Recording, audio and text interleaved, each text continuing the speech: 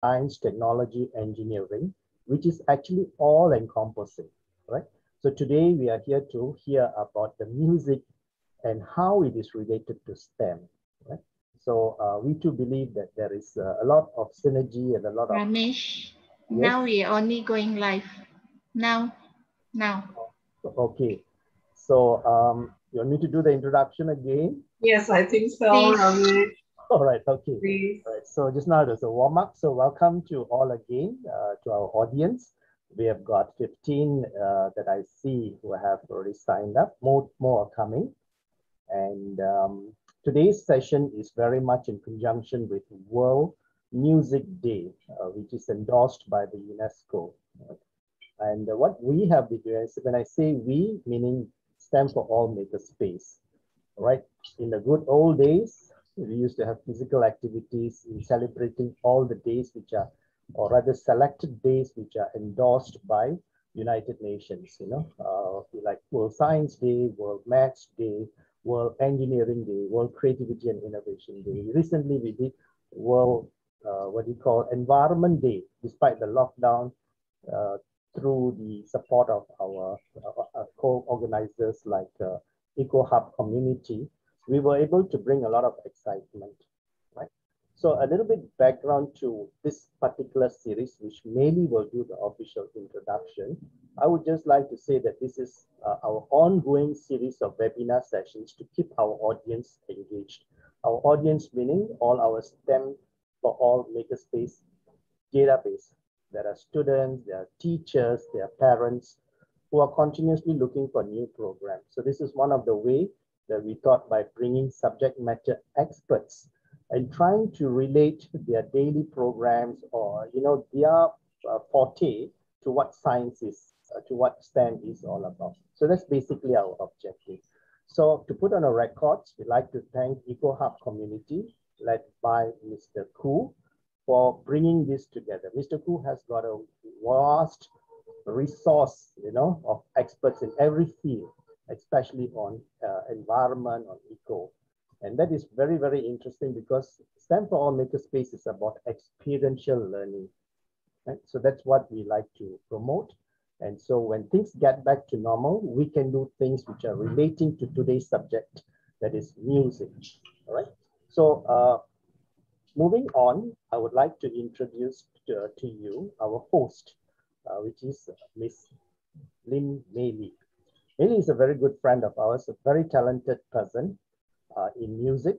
She, oh, yeah, she, she, she, she's the music teacher um, she's grinning because I think she's like, um, you know, she's overwhelmed by uh, the support that she has given us, not just through me. Today, the first time we're doing something on music, but her also her interest and forte also lies in green.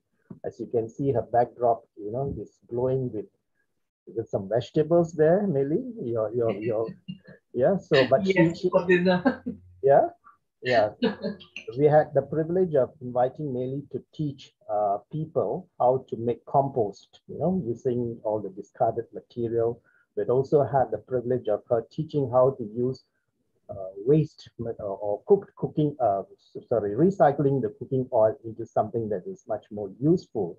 And that's basically Li. I think she has got lots of other areas of uh, expertise which we continue hope to continue to engage with Li and uh, Mr. Koo on this. So without further ado, I would like to uh, welcome Mei Li to, to host this particular session. Thank you, Ramesh.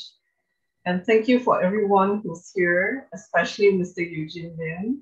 Let me say a few things about Mr. Eugene. He is actually the national manager in Malaysia for Trinity College London. And concurrently, he is the regional academic consultant for Trinity College in this whole Southeast Asian area. Now, he, he would like me to tell you that he actually started learning the piano at seven years old. Okay, so there must have been enough parental support to actually be learning at that age, as we all know. And this is to encourage all parents, you know, who, who are actually listening to us today. And uh, and he, he actually received several musical awards and obtained his music diplomas from Trinity College of Music and Guildhall as well. Then he gained his bachelor's degree at the University of London Goldsmiths College. One of the things that I know that um, Mr. Eugene did was he was actually very much responsible, but he will say that he is uh, one of the, the persons who actually helped to form the undergraduate music program at the University Malaya's Cultural Center. Okay, uh, that was in 1998. There he taught piano performance and theory of music. Okay, and um, of course he has a postgraduate degree in music education from UM here. Now, he is involved in Malaysian music education in various roles as adjunct lecturer, as well as being a past member of the Malaysian Qualification Agency. So he's adept both in classical as well as the rock music field. Okay, uh, me too. He has adjudicated at uh, competitions and festivals all over the Southeast Asian region. So without much ado, I would like to welcome Mr. Eugene. Eugene thank you for the introduction. Thank you, Meili, and thank you very much, Ramesh, for um, hosting us today, introducing this whole session. Um, welcome, everyone, either through this um, Zoom meeting or through the online stream that um, you're viewing us today. So in conjunction with um, World Music Day, um, I think we're here to also think about how's the impact of music in learning. Um, actually, I would like to, before even I start, um, it's good to know, you know, the type of audience that we are talking. And I believe Jack here has got something for you. If you could perhaps help us by starting off with this poll. If you could uh, click on this poll to identify yourself so we are aware of the audience that we are referring to right now. Are you a school teacher? Are you a music teacher? Or are you just a parent sending your children for lessons? Or are you yourself a student? Um, if you could ask you to please submit this poll. I think I'm just for, for the sake of Jack, I'll put myself down as a music teacher too. So at least you got one response from me. So yeah, I think it'd be useful if you could have this and if Jack let us know, so at least we can understand the audience to which we are referring to here. So um. Okay, yeah, just uh, we already have 12 out of uh, 18 person have voted. So we just wait for a few more minutes, perhaps another two or three more, we will have a majority. So uh, while um, Jack is um, collating this info, um, I think there's already a, a lot of information out there about the benefits of uh, music and music in educate in what you call STEM education in science, technology, engineering, mathematics. So um, and if if you are not aware of it, I if you could just let me permit me to just quickly just share a few simple um, information. Uh, of course, if um, oh, let me start from the beginning. Yes, importance of STEM education. So um, these are as I go down my screen. If you don't mind, you can just uh, screen uh, so, okay, interestingly enough, we have uh, mainly parents sending their students, uh, their children for music lessons, as well as um, teachers themselves. Actually, it's a fair, mainly it's an interesting poll here. We've got um, a whole range of students as well as teachers attending today's session. So I think I'm going to try and make this message as broad-based as we can to serve all your time that you're here with us. So as I said, um, if I just um, just scroll down my screens, you should be able to already see various different articles. Um, feel free to just screenshot if you want to, and um, be able to just see what are the various different things that you can find in terms of benefits of music and linking music qualification to higher music attainment in terms of academic subjects. I'd like to let you know that these four articles that I just pulled up are actually just all done from the last year alone. So I'm not taking articles that are even 10, 5 years ago. I'm taking articles that just all just came in last year. There are already a lot for the last decade alone.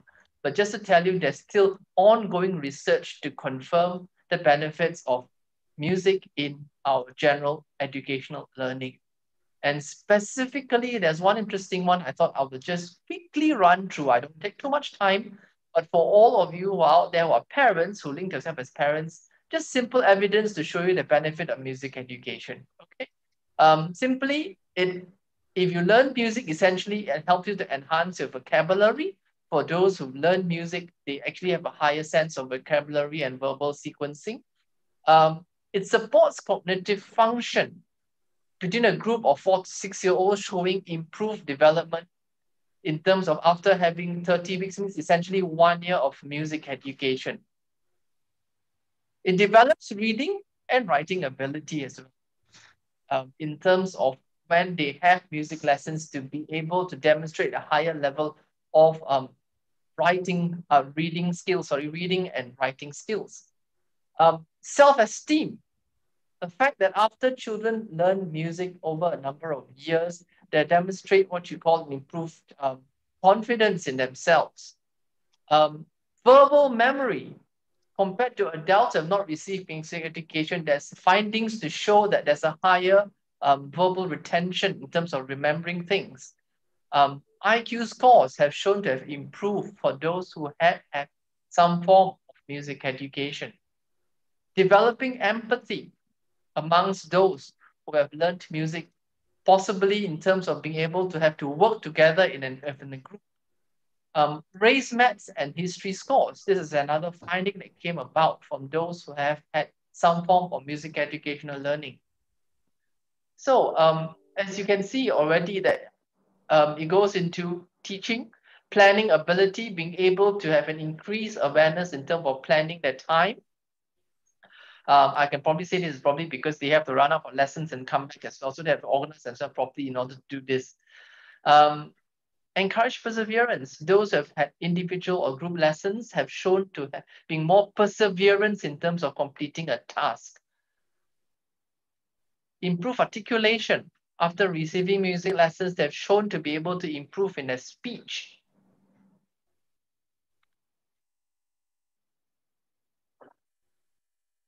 Protection against dementia. Now, this is an interesting one. It's shown that um, in, in terms of uh, at an older age, those who have had um, a study of um, music education, some, some form of music learning, um, has minimized uh, future dementia risk as well um, facilitating anxiety management, being able to regulate the emotions and anxiety, um, boosting standardized test scores. I'll come to this in a minute on this one. Um, and refining. Can, can try to full screen it. Oh, okay. You want me to go into a full screen on this, on ah, yes, is it? Easier to see the, ah, that's nice. Thank you. Okay, right. And, and in terms of, um, well, this one is talking about um, nurturing life um, happiness. Now, um, if I were to just talk here for a second, I mean, there's a lot obviously for you all to consume at this point in terms of what we are saying, um, music and the benefits of it. Um, but specifically, if I were to zoom in for a lot of us in Malaysia, I think your context of music or music education will be mainly more towards um, either your child learning music um, through private music lessons, or they could be perhaps being in a choir, a school band, or some form of music activity as extracurricular point. Um, are we agreeable on this? Can I just have uh, maybe something in the chat that shows that um, for those of you are listening to me right now, do you have any other points in which, okay, I've got some music students, um, so of course, you music student, you learn music that way. So these are the points in which um, the music education will come to be. Specifically, if um, you are learning music or learning a musical instrument, then I would say firstly that the, the next thing I was going to share with you might be of interest because this is a very recent um, uh, study that just came in about how instrumental learning actually helps in terms of attainment um, of a child. Okay. Now, just a few things. There's already the the uh, the, uh, the I can share later through um, Ramesh or uh, or Meili the link to this article. But there are a few things I will want to raise to all of you who are parents sending your child for lessons, or if you yourself learning or some form of instrument or singing um, music in that way. So the next thing I want to highlight to you is actual, oh, sorry, uh, screen share went off. I apologize for that tech problem. Um, okay, let me just go back to your screen share. Now, I want to highlight to you the findings of this study. Now it says here, playing a musical instrument made a statistical significant contribution to performances as key stage four. This is a UK um, research, okay, which means it's about SPM level. And it says this is for students who experience musical training has got advantages across all school subjects. Interestingly, specifically English and maths, but no improvement in sports. Very interesting. Okay, but I would like to highlight this very clearly. The finding shows more significance of learning of musical instruments after four, five years or more. So there was no significant difference when the child started learning music at a primary school age. So long and it actually sort of summarizes that if you just learn something for a year or two, you're not actually going to see much benefits apart from the fact that you know how to read Tao and you can essentially play something. But there are long-term benefits in terms of music education on a child, but it's long-term. And to make that very clear from this finding, this is a 2020 finding. Um, it's printed in the Cambridge University Press. So it's not something that you can just pick up. And, and I think we need to make this really clear because we all live in a very instant world. Um, instant coffee, instant noodles, instant access, you know, you click something. And it's come to a point where uh, there's a great amount of teachers who tell us that um, there is this expectation that a child can learn something like that because they can probably pick something up very quickly. That's true. But in terms of cognitive learning and everything about music, similar to like art, you can play a simple piece of music. I'm sure a Meili can teach you how to play a, a simple Baa Baa Black Sheep in half an hour. Very easy. Yes. But the point of we're trying to make here is that it's not just playing Baa Baa Black Sheep. The idea is that to be able to really have a sense of cognitive movement, um, coordination of eye, ear, hands, in a similar way as if you think how physical education, and most of you will understand this correlation. Um, all of us gone through from young age, physical education classes, what you call PE classes. And PE is good. It helps us in terms of our physical health and everything that goes along with it.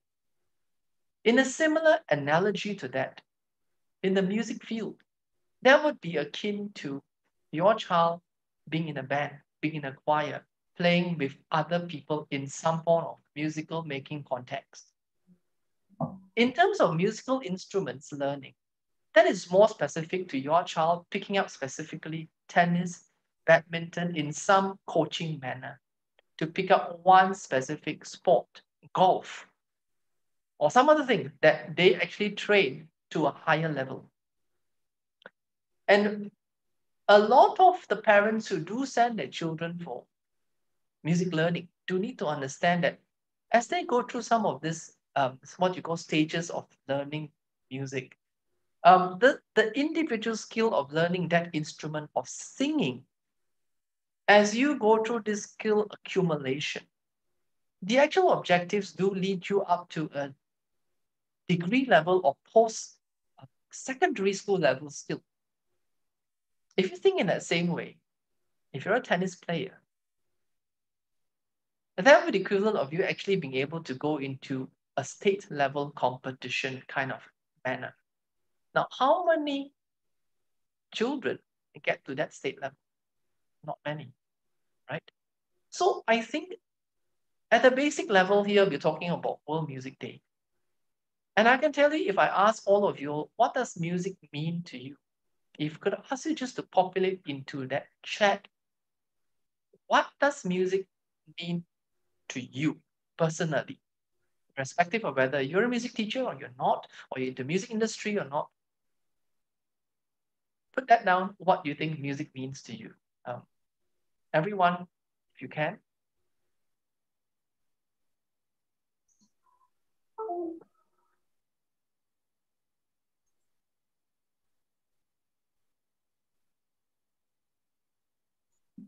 I'll let you all um, sort of um,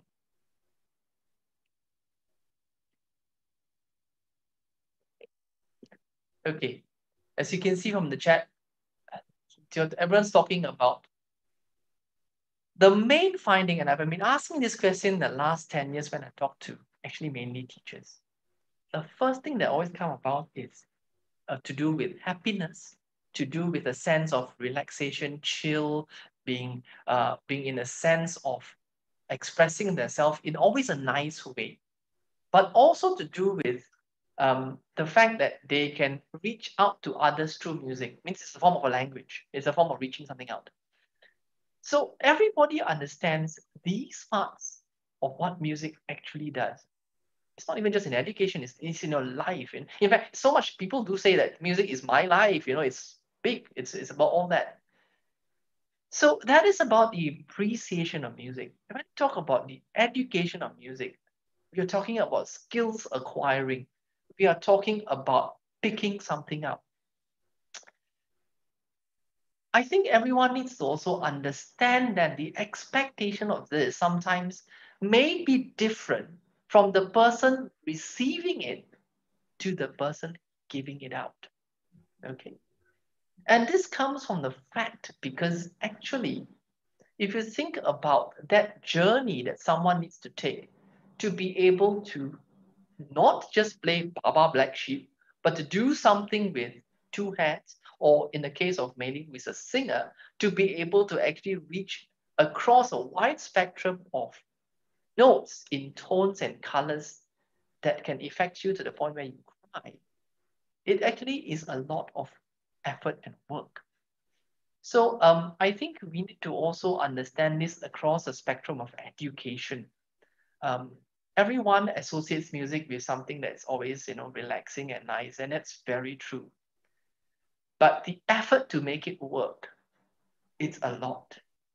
I'm sure all of you may have heard of someone called Bruno Mars. Bruno Mars, um, together um, with um, Ronson, Mark Ronson, did this very famous work called um, Uptown Funk. You might have heard of it, um, right? So Uptown Funk, which was the number one hit, I think about um, four, five years ago. You know, I'm sure you know that work. You may want to know that the guitar part that was recorded for that piece of music was re-recorded. I'm going to put in a chat, so you have to read the chat to know the number of times this piece was recorded. The guitar part for this piece called Uptown Funk was recorded 84 times. 84 before they came up with the final version. Okay, and it's just the guitar part, huh? Just the guitar part, okay? Not the singing part, not the drum part, not the bass part. That's what actually it takes for that number one hit to be the number one hit that we all heard today. So yes, we all feel, wow, that's great, Uptown Funk, it's ooh, relaxed. But the effort that went into that work alone tells you there is a mountain to climb. But at the same time, of course, we would like to believe that parents and teachers all are in that journey with the student to make it happen in a way which, of course, will be pleasant for everyone. And of course, um, I have to say, for someone who works from an exam board, it's not easy to balance that part up. I remember years ago, um, years ago, there was this very funny um, uh, um, advertisement from McDonald's that had this child crying playing the piano. And if, if you're laughing, then you must be showing your age because it was way back a long time ago. And the, the catch line was, go and have a happy meal. You get it? Go and have a happy meal. okay, because the child was crying playing the piano. So the point of it is that uh, I, I, as someone who's working in exam board, I can totally understand uh, the stress in which um, the assessments can come into being. Uh, at the same time, we also recognize that from an assessment point of view, we try to refresh the type of music that a child can try now these days. And as you can see from my um, poster boards here, uh, we don't just do classical music, as you can see from this, we do um, rock and pop. So you don't have to just do Mozart, you can do Michael Jackson today.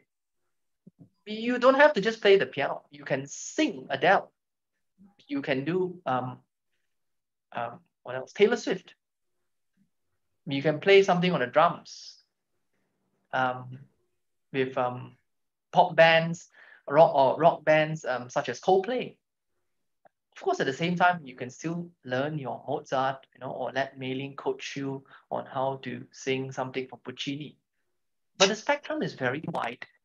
It's very, very wide that we just allow a child, any child to have that musical journey. But at the same time, while we recognize the importance of music in STEM education, it's also important to recognize that the whole infrastructure has to be supported from everyone. Um, I wish to also highlight as well um, this national educational framework that we, um, you may be aware or not aware, but the, the Malaysian educational blueprint actually features music 11 times in that blueprint. Um, if I may just quickly reference this. Um, can you all see this, Ramesh? Um, so music is referenced 11 times in that national blueprint, okay? It's listed actually as a core subject in schools. It's also listed as part of what you call extracurricular activities that should be encouraged. In fact, there's a quote here that says that to be well-rounded, students will be encouraged to be informed and knowledgeable in other areas such as music, uh, sports, arts, and everything. This is page 68 of that 300 page document. Um, and music education is listed as compulsory, page 106. As you can see there, I highlighted the word music for you in that, in that picture. Uh, and it says here, even I, I probably took an extract out in line with policy that states that blah, blah, blah, and it goes on. Okay, but if you look carefully, there's a line that says that according to additionally, all music incorporating visual arts, music education, health, and physical education classes into their curriculum. Okay, so now the thing is, then you sort of ask, hang on, this is a blueprint that was written in 2013. Why perhaps are we not seeing this being cascaded down, perhaps? Now, to understand this, you also need to understand that um, in order for you to produce a music teacher, it's not something that you can also create overnight. Um, for more than three generations, four generations since we had Merdeka, we've all learned science, mathematics, and languages. But if you really think carefully about the music education as being, it's mainly only urban. Okay, and in terms of music education at higher institutional levels, Yes, at this point of time, nearly every urban university has a music department or faculty. Uh, I was privileged to be in University Malaya Informed Hours in 1998. Um, but right now, there are more than 10, more than 10 public and private universities in Malaysia that has got good music educational um, topics in terms of core undergraduate and postgraduate subjects. Uh, not as an elective only. But as you can imagine, not all these graduates go out and go back as a national teacher or, or as a teacher teaching in national schools. Not all of them do that. So that funnel that goes back to national education is still very small. And the majority is still predicated on the private music sector to do the necessary in encouraging um, what you call music education. And you might want to note the next point that I was going to highlight in that finding is this page that says, and it's at the bottom, uh, private schools and international schools offer more enrichment activities like drama, music, blah, blah, blah, page 196 of that national blueprint. It acknowledges, it acknowledges specifically that it is actually the private sector that is actually pushing more for this because they have a bigger pool of funding. And yes, funding comes into this matter a lot.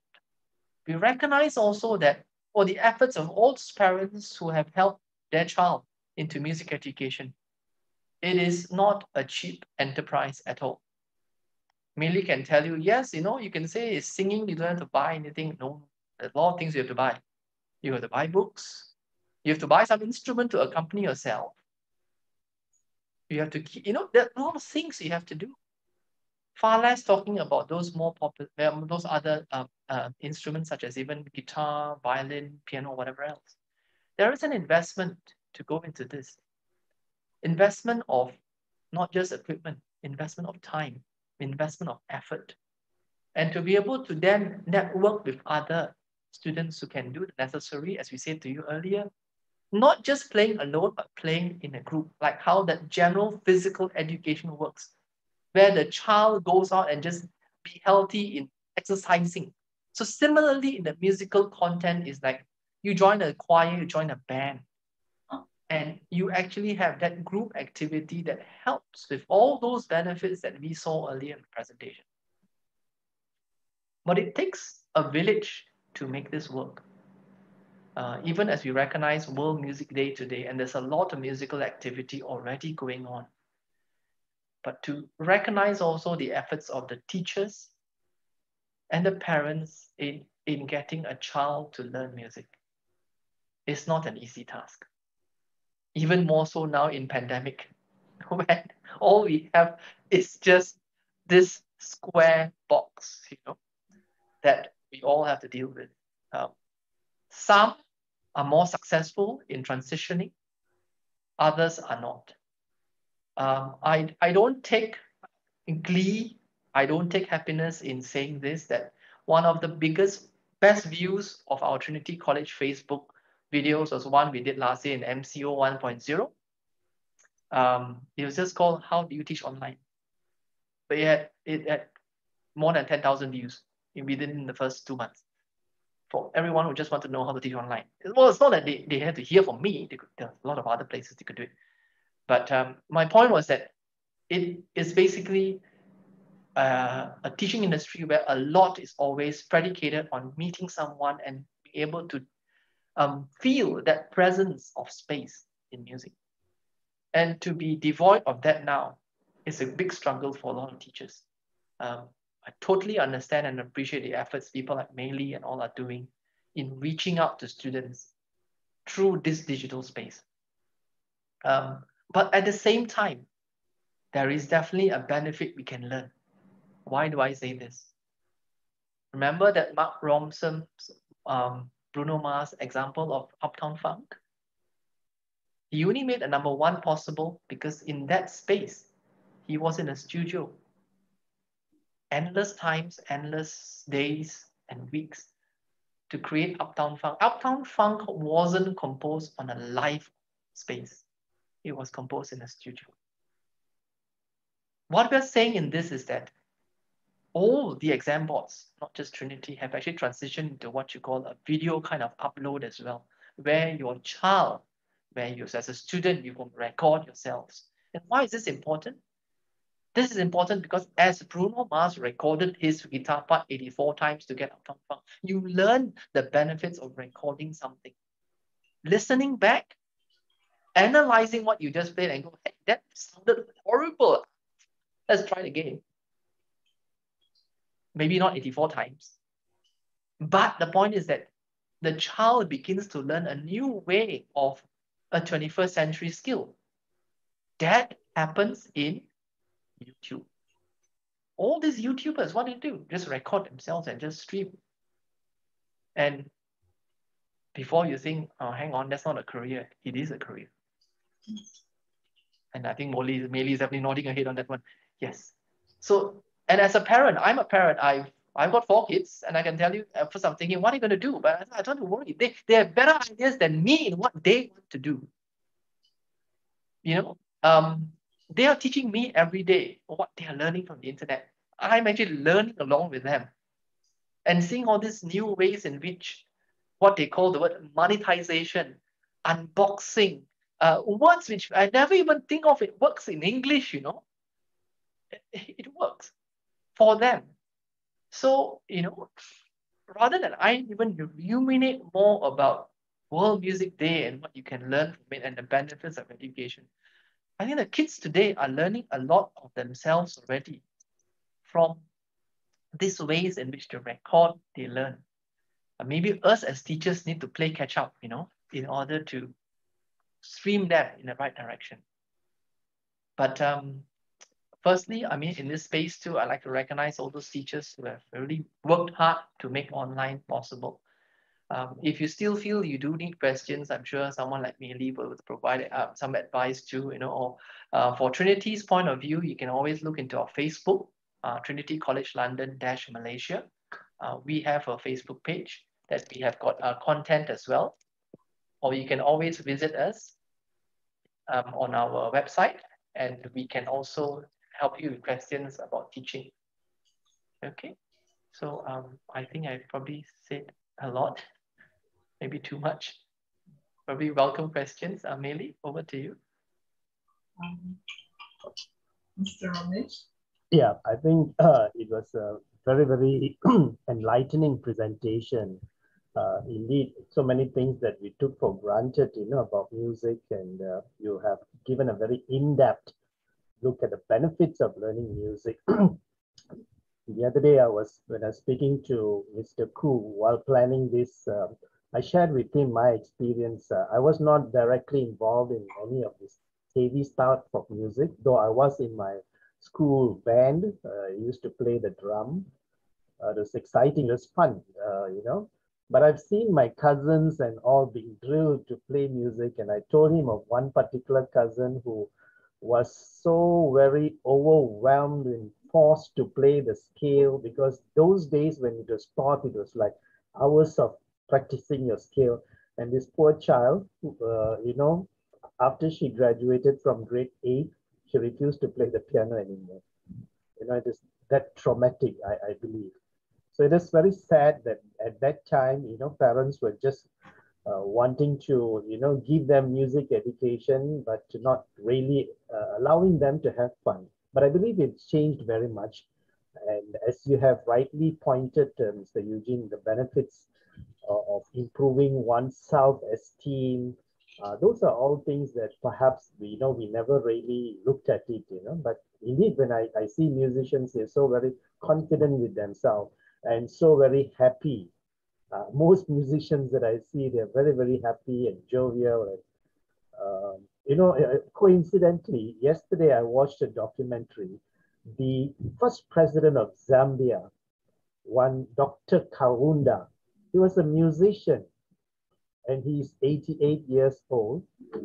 When you, when you see him speak and in any gatherings that he's very, very popular, in any gatherings that he, he's invited, he sings and he plays uh, the guitar and the piano.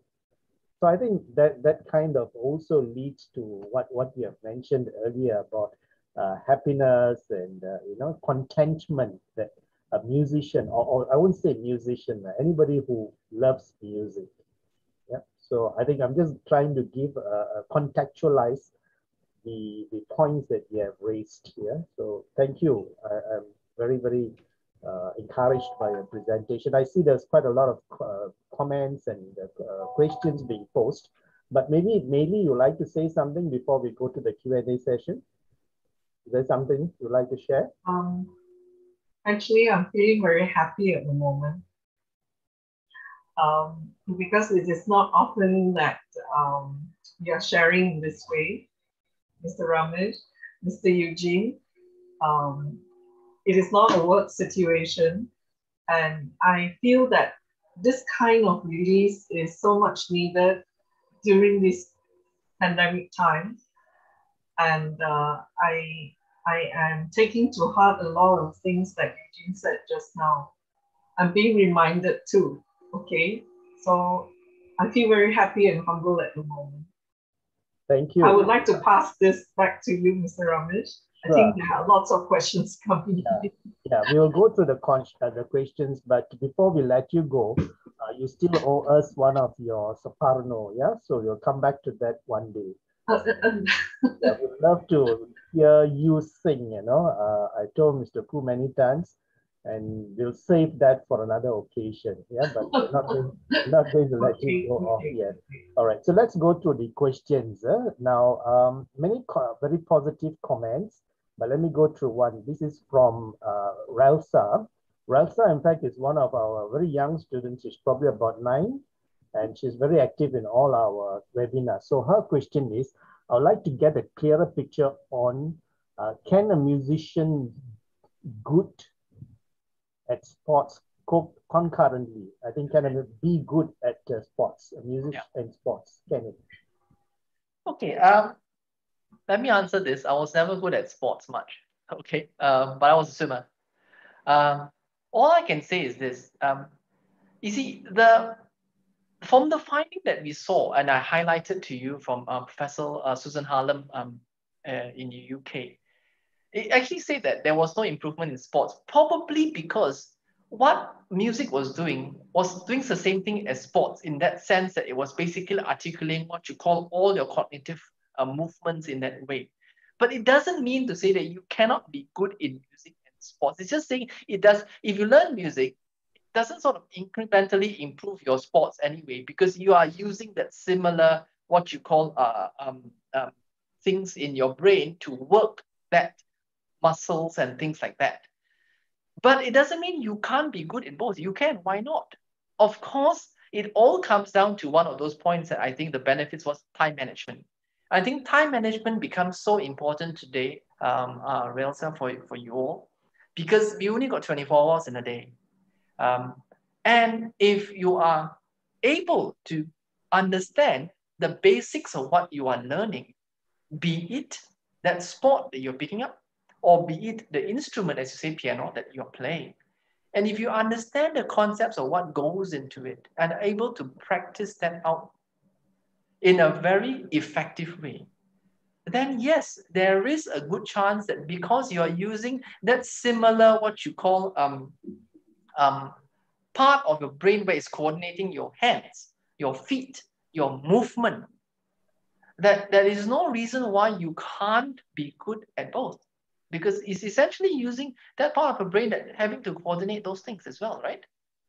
So, but of course, as a pianist, all I would say is watch your hands, you know, but they're important. Having said that, I was a goalkeeper in my football team, also in my school class, okay, which my mother nearly killed me because, you know, I'm a pianist.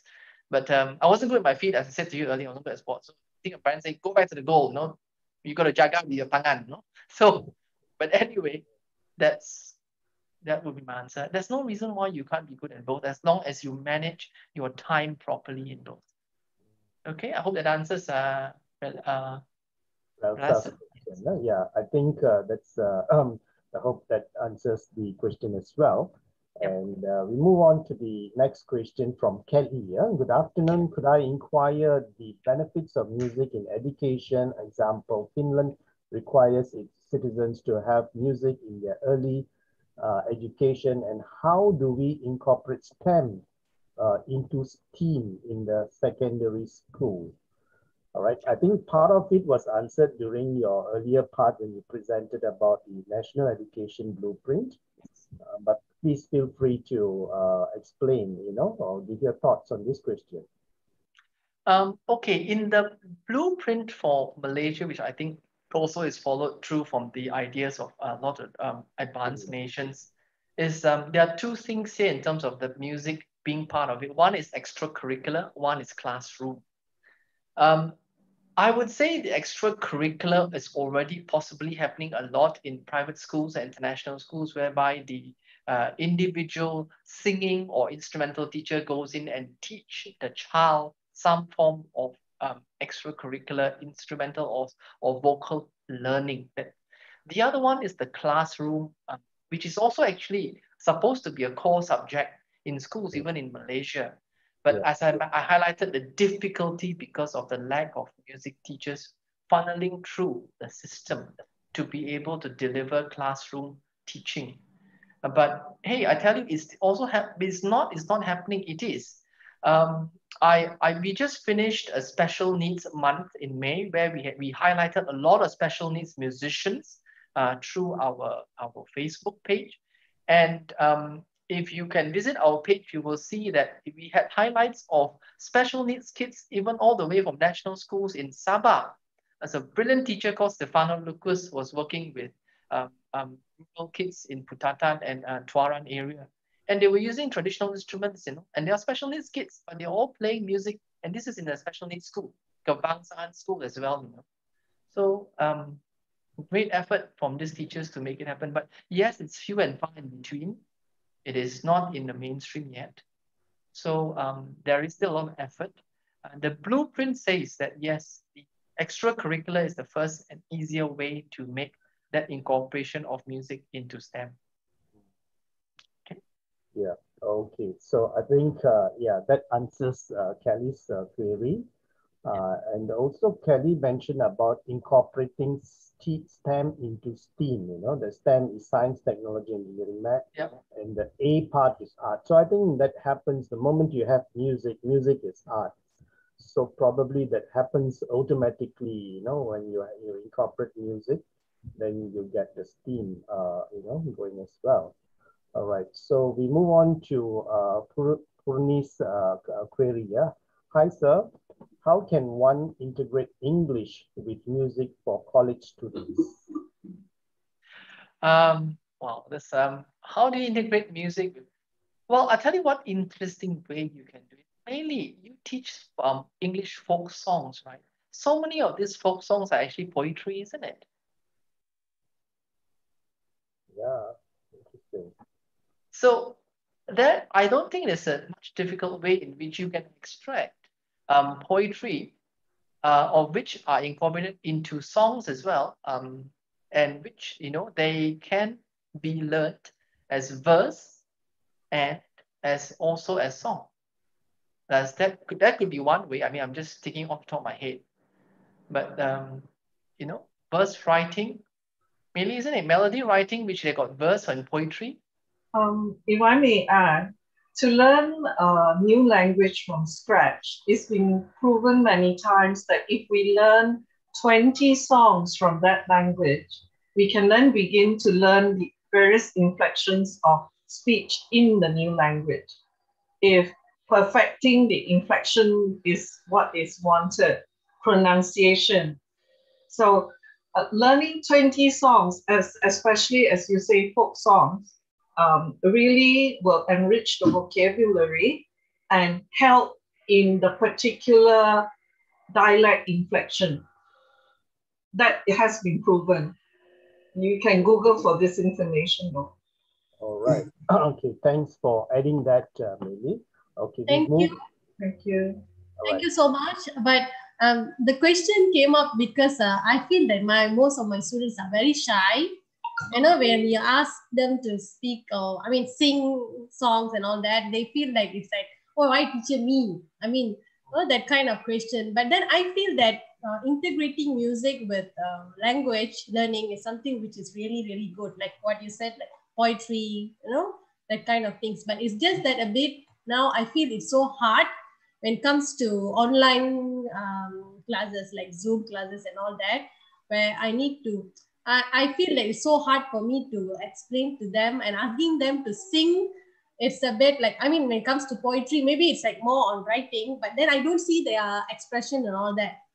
So I feel that uh, no, that's the issues that when it comes to online, I feel uh, it is being stopped. Um, I, I know, I hope I'm not going out of turn by saying this, but um, maybe the pop songs of today may not be as fantastic poetry writing, but at some mm. point they're lyrics. And of that lyrics, a child may be understanding the contemporary feel of English which they can read.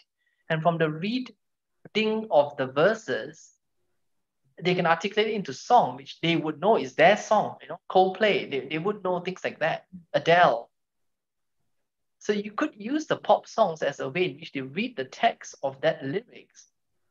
Yeah, that's a good way to reach out. To and them. then you reach out to them through that song. Then they sing the song and they play out the, the character of what that song is asking. It's interesting, sir. Thank you. And thanks, Ms. Lim. Okay, thanks for the question, uh, Purni. Uh, we move on to Mr. Manoharan's uh, question. Uh, he says, I talk to students on career, that's next steps. Many children have a passion for music education, but many parents do not view music education, but ask children to take business course. Parents do not consider music as a long-term career. Eugene, how do you answer the parents? I will answer back by saying that I don't think anybody thought someone just playing computer games can earn 2 million a month. okay, so there are a lot of things, as I said to you, even I myself as a parent, I would not have thought, you know, what is my kid doing sitting there in front of a computer playing? But then, but then, my own classmate, um, after his son finished Form 5, got him into what you call a, a, a gaming school for two years. And he's now a semi-professional. A semi-professional computer gamer. Okay, that's probably one extreme. Um, let me turn the, let me spin this the other way around for you, uh, Mr. Uh, Manoharan. Yes. I, when I was in school, I knew a friend of mine who was a very good, he could cook really well. And while the rest of us went into college and university, he became a chef. And he set up his own restaurant later. Um, he's now director of, um, he, he, was at one time down in Sheraton, um, KL, um, director of banquet. And he started off his career a lot earlier, far earlier than us, you know, but he made it. He, he actually made it. But no one at, the time, and this, I'm sorry, I, I'm home, I'm not showing my age, but, but I mean, I'm in my 50s, okay? So I can tell this is back in the 80s. Who I thought it to be a cook, you know, can, can be a career. But the damn fella did it, you know, and damn good cook too. So the point is that I would say, you know, you you can't actually tell a parent, uh, yeah, this is this could be good because they may say, no, it doesn't really yield any careers. But careers today have changed so much that all you can tell the parent is, have you considered something that you may not have seen in a child? And it may not even be music, it may be music, it may not be art, it may be art, it may be business. For God knows, they may go into business and don't have a business mind. Then what's the point? True. Yeah. Um, yeah. So, think... they, but to answer also, how good is music as a career if you want to go into it? Boleh cari makan, as they always say, you know, the word boleh cari makan. Yeah. Uh, the answer is yes, there is always a lot of new areas, even within the music career, that they can look into. Now, traditionally, everyone knows about teaching. Um, mainly being one of those, uh, what you call the doyans of the teaching community here will tell you, yes, teaching is a big a part of um, music uh, community. But not only just teaching, uh, there is now music management, there is um, music administration, um, there's even fields in which you have to mix law and music. Why? Because of copyrights. So about, you know, uh, sound sound engineering is that part oh, of? Yes. Yeah? Yes. So yes. Yeah. Even more so now. I myself, I, I you know, I um, recently we, we sent a message of encouragement to all everyone in the music community over this MCO 4.0 as they call it, you know, and we, we asked them in this four weeks, you know, learn something new yourself as part of you know your objective from being at home. About other things we told them, we told them three things, and one was learning. So then I thought myself, hang on, I'm asking everyone to learn what am I going to do? So I thought, okay, I start learning video editing because I could do all these things and I got one staff and I got two fantastic staff who does most of the edits for me. But because the work is so great, making I can't be loading them too much. I also could learn video editing. So in these four weeks, I really took a course on video editing. You know, and I, I bought the Adobe um, Rush Pro, which is that's not cheap. But learning, learning things which um, sound tech, it's really, really important today. And this is all streaming through the internet. You have to know how to mix your sounds. You have to know how to mix all the channels. It's not something you can just pick overnight. So there's definitely a career in that too, uh, Manoharan. There's definitely a career in all that. But again, the child needs to guna otak. Doesn't matter what they do, right? Yeah. Foundation. I think what maybe is the foundation music, once they have that, uh, just like the same queries that we also have what are the careers in STEM, you know? Uh, are you assured, you know, uh, is my kid assured that there's going to be a job waiting for him if he do the sciences? What about engineering, you know? So uh, this is very volatile, the, the, the industry is so volatile. Uh, a career today in five years may not, uh, may cease to exist, uh, being replaced by AI and robotics. So uh, it's going to be very difficult, I find, you know, when somebody asks. But what I tell them, in especially from the STEM point of view, is that once they have this basic knowledge and skills and talents, they can apply it in every other industry. You know, so it's, it's interesting what you said, Ramesh, about AI. If you were to Google the BBC, um, and you Google BBC, which which job will be replaced by an AI? You try that in Google, yeah. Mr. Google. In every other the industry. arts subjects and the arts professions are the one that are least Affected, yeah? by AI. okay. Yeah, yeah, because there's okay. a lot of creativity that you know I yes. think AI can't replicate. Correct. Right. Okay. So in the interest of time and to be fair to our other spe- uh, questions, uh, let me quickly run through. Sure. Uh, this is from Chin uh, who asked about how effective is online classes for kids in learning piano?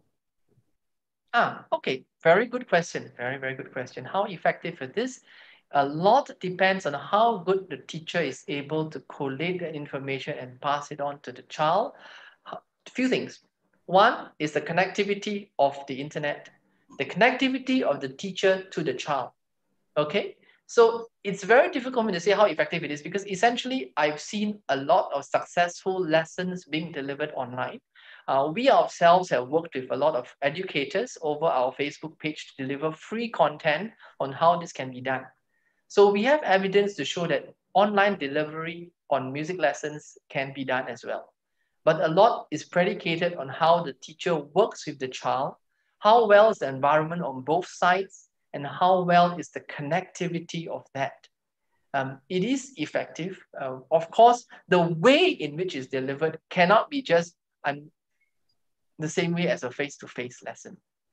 Okay, so um, but evidence have shown yes, it does work. Okay, so it, so thanks for that. I hope that answers Kelly's uh, query.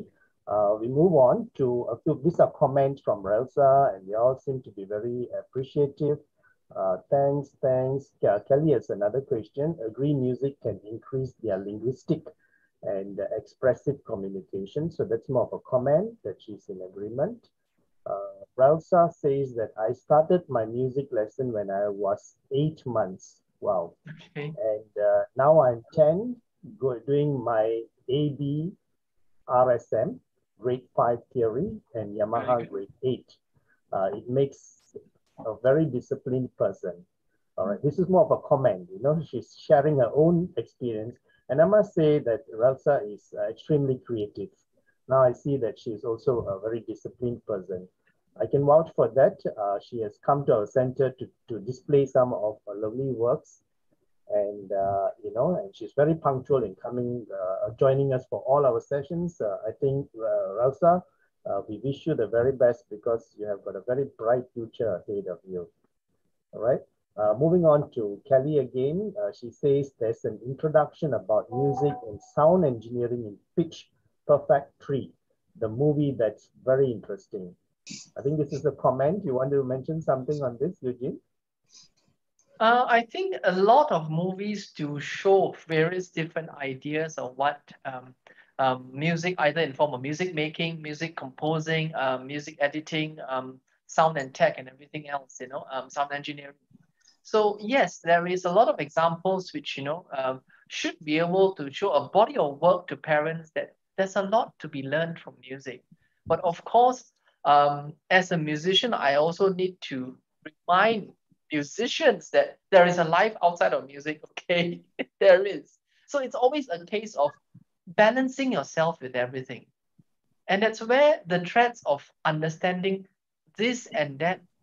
And like I said to you earlier, my mom always says, Guna Otak, if you use your brains and put everything together, you will learn more with an amalgamation of things than just one thread. Okay, all right. So that's uh, a good comment. I think we'll just go through a few more. Uh, we've got, we've just exceeded our time by one, but to be fair to Eugene, are you okay with time, Eugene? Fine. Fine. All right, so we go, uh, and, and Maylee, you're okay as well, yeah? No, I, I, I think it's okay. I'm very happy at the moment, it's okay. I can see the glow in your face, yeah. yeah. So we'll just maybe, go, uh, you know, just run through these questions and then we'll stop at the, you know, where uh, as we come to maybe 5 or 10 at the very most. Yeah. So another 10 more minutes to go. That's okay, Eugene. Yep. Yeah, okay. So another 10 minutes. Uh, this is injury time. All right. So, um, ah, someone's into football. yeah. yeah. So uh, we have Mr. Lim um, Ling Hong to everyone. Now he says that um, how can one ensure continuous growth at music as music educator in order to deliver better music lessons and raise overall quality? Okay, um, good question. I think continuous um, learning comes in various different forms. Uh, I think I mentioned in that um, session, in that short video I put on Facebook for all of you all in the MCO 4.0, I said learning. In the learning space, actually, if you just Google YouTube alone, there are so much you can pick up on it. Or maybe you say, hang on, I don't know whether this is iffy or this is really okay or not. Um, you can check on the comment section to see whether what is being actually said, yes or no. The comment section will tell you, the grading of that particular video will tell you. Or if you still feel this is just YouTube, go into online courses. There are a lot on the YouTube. There's, sorry, a lot on the uh, in cyberspace um, from reputable um, online sites about professional learning. And content, content you can find a lot. I mean, if you want to, I don't just want to just put a plug on Trinity, but if you find on most exam boards, you go to our web page, we provide free content to help you. Uh, for Trinity's perspective is from our Facebook, Trinity College London, Malaysia. Or you can visit our website. We can help you with content as well to help you improve. But it's not just from the exam boards you can find um, courses which relate to uh, teaching. Uh, there's one called Southeast Asia Online Academy. They are all my good friends um, down in Singapore, Indonesia, and part of Malaysia too. So they provide online courses as well that you can learn. So there are a lot of things that you do need to find. Of course, you need to take that effort to be able to progress yourself. And I'm glad that you are already asking how do I continually um, learn because that is always part of continuing education, isn't it? Doesn't matter what age. Okay. Uh, Meili, you want to say something? No. Okay. We move on to the next. I think this is more of a comment from Linus. Uh, Linus says all should be users of AI. It will enhance our ability to deliver, including music, just like uh, all of us using AI and taking great photos with our phones. All right, so I think he's in agreement that uh, AI is the way to go forward, right? Um, uh, says, great sharing. I think these are all comments and appreciation of your wonderful presentation, Eugene. Likewise, Kelly says, uh, thank you and appreciate the session very much. And um, we move on to uh, okay, uh, Linus has got another comment here, a suggestion, a very good point. He says that if any of you are interested in video editing, uh, as just now Eugene shared, you can try out DaVinci Resolve uh, from Blackmagic Design.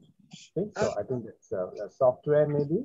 Yeah. yeah. And uh, he has very kindly shared the link as well. So all our listeners, all our followers, you've got a very good lead here.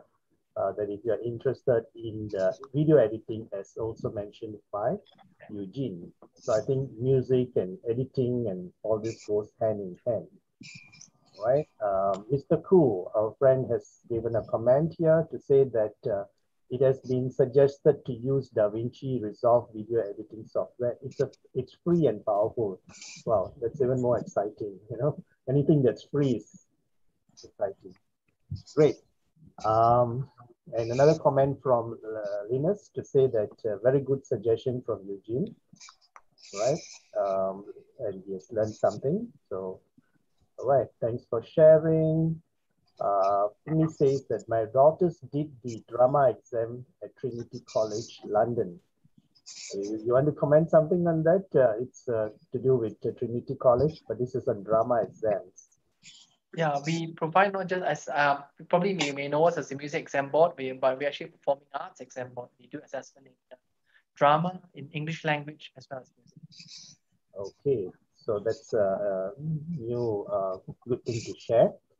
Uh, kudos to Disney. This is from Kelly. Kudos to Disney and high school music. There's a lot of opportunities to spark interest in adolescents in music and daily life to increase happiness index. All right. So this is a comment also. I think there's a lot of, of uh, what you call uh, programs and movies that have actually sparked uh, inspirations among the youngsters. So that's a good comment. Uh, we probably have come to our last question. This is from a comment from Eugene, is it? I'm just uh, highlighting to uh, Lim Ling Hong, was asking about continuing education. So I basically oh, asked him to check out the academy. All right. The Southeast Asia Online Academy. Maybe uh, Hong, if you're still on, you can just check this out. All right. So perhaps we just take this last question. And there's a few more down that I don't have time to scroll. I want to give another few minutes to Eugene to wrap up. So we'll just take this last question from Mr. T.Y. Mr. or Miss, I'm not sure, T.Y. Mock. Uh, we can introduce some science facts about music, sound wave, uh, sound wave propagation, wave theory of uh, sound, harmonics, etc. Unfortunately, pandemic now, so uh, possible to do it after the music camp. Uh, this sounds very interesting, Mr. Um, is it Mr. or Miss? I'm just call TY. TY, this is something that we would love to explore at our center. You know, so and also goes to Eugene. If there's anything that you think that can be very uh, experiential, experiential, meaning the science behind, the technology behind, the innovation behind, uh, that's all very STEM related. We can conduct a workshop. So likewise, uh, uh, TY's suggestion, you know, to do this kind of a thing. I like the idea of uh, exploring with the vibrations, you know. So these are all signs, yeah. So this is very good for us to, to explore once things are back to normal at our center.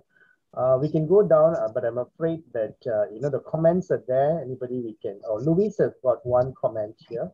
Luis is also our good friend, a STEM partner who runs a platform uh, on the planet. So all these contents will also be shared on that, you know, as a permanent referral. Uh, video contents as well as uh, what you call tutorials. We are, we're trying to build up that that platform called STEM LMS platform. No? And um, Louis' comment is that I'm video editing teacher, call if needed. All right, so if you need any help on editing or to teach on editing, video editing, Louis is also available. Uh, all right, so with that, I think I would like to, you know, ask Eugene to maybe, you know, just uh, give a short wrap up.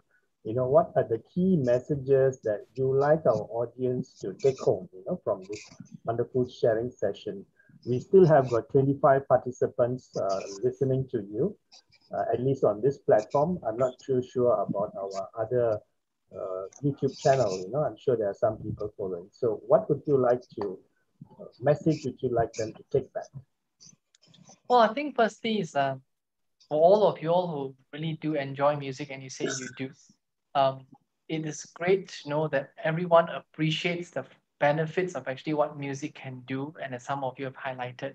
But it's also important to also understand that the, the musical journey takes a lot of people to encourage that progression. It is not just down to one individual. And more importantly, it is an investment of time, of effort, um, and even of resources in terms of, um, you know, um, space, money, and everything else. So um, so remember the next time when you listen to that next um, pop chart number one, do appreciate the efforts it took the team of people and the songwriters to get to that point that we all can enjoy and we call it music. Wonderful. Yeah, that's a lovely wrap up. Uh, Meili, would you like to say something before we uh, close this session? Um, I think all is well said. Excellent.